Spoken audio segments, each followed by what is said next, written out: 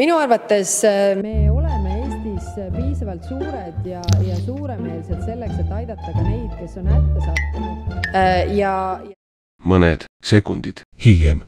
ei tohiks imestada, kui siis, kui meie vajame abi, oleme me täiesti üksi.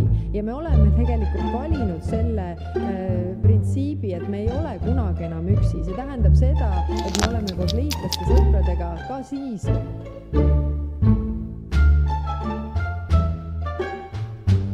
nemad vajavad meie tuge, nagu Ukraina seda hetkel vajab. aitäh!